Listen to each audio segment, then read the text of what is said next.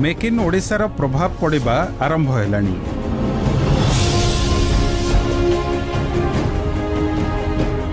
ରାଜ୍ୟରେ ବଢ଼ିଲାଣି ନିବେଶ। ନୂଆ ନୂଆ ନିବେଶ ଆସୁଛି। ଏପରିକି ଚଳିତ ଆର୍ଥିକ ବର୍ଷର ପ୍ରଥମାର୍ଦ୍ଧରେ ନୂଆ ନିବେଶ କ୍ଷେତ୍ରରେ ଓଡ଼ିଶା ଦେଶର ଅଗ୍ରଣୀ ରାଜ୍ୟ।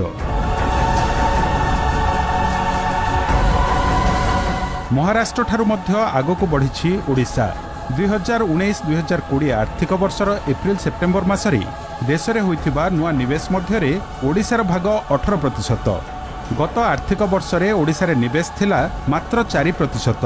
ବର୍ତ୍ତମାନ ଏହା ଚାରି ପ୍ରତିଶତରୁ ବଢ଼ି ଅଠର ପ୍ରତିଶତରେ ପହଞ୍ଚି ଯାଇଛି।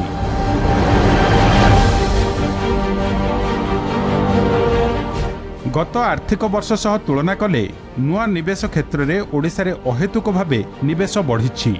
ଗତ ଆର୍ଥିକ ବର୍ଷରେ ଟେବୁଲ ଟପ୍ରେ ଥିଲା ମହାରାଷ୍ଟ୍ର। ନିବେଶ ହାର ଏକୋଇଶ ପ୍ରତିଶତ ଥିଲା। ଏହା ଷୋହଳ ପ୍ରତିଶତକୁ ଖସି ଆସିଛି।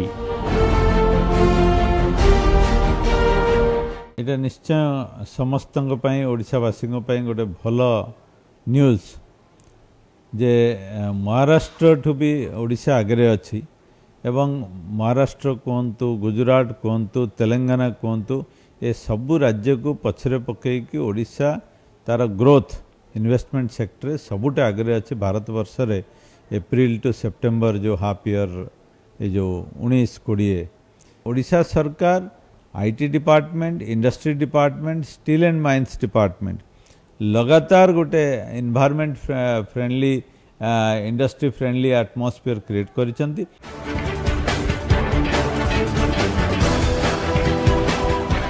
ଯେଉଁ ରାଜ୍ୟଗୁଡ଼ିକରେ ନିବେଶ ହାର ବଢ଼ିଛି ସେମାନେ ହେଲେ ଓଡ଼ିଶା ଗୁଜରାଟ ରାଜସ୍ଥାନ ପଶ୍ଚିମବଙ୍ଗ ଉତ୍ତରପ୍ରଦେଶ ଓ ଦିଲ୍ଲୀ। ଯେଉଁ ରାଜ୍ୟଗୁଡ଼ିକରେ ନିବେଶ ହାର କମିଛି ସେମାନେ ହେଲେ ତେଲେଙ୍ଗାନା ବିହାର ମଧ୍ୟପ୍ରଦେଶ ଆନ୍ଧ୍ରପ୍ରଦେଶ ତାମିଲନାଡୁ ପଞ୍ଜାବ ହରିୟାଣା ଏବଂ ମହାରାଷ୍ଟ୍ର।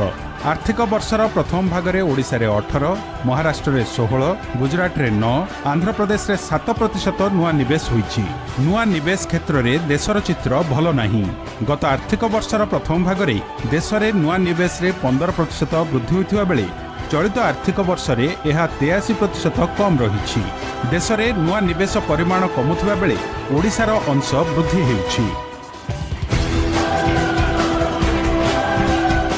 ଦେଶର ଆର୍ଥିକ ସ୍ଥିତିରୁ ଓଡ଼ିଶାର ସ୍ଥିତି ଭିନ୍ନ ରହିଛି।